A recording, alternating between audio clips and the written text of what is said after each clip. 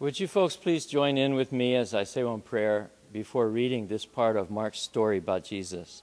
Shall we pray together? I'm going to start with the Lord's Prayer from Matthew, how it sounds in our local kind pidgin English.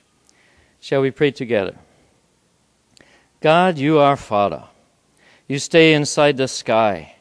We, like all the people, know for sure how you stay, and that you stay good and special. And we, like them, give you plenty of respect. And God, as we go and read about your boy, Jesus, I pray that from our hearts we give him plenty of respect, for he is everything.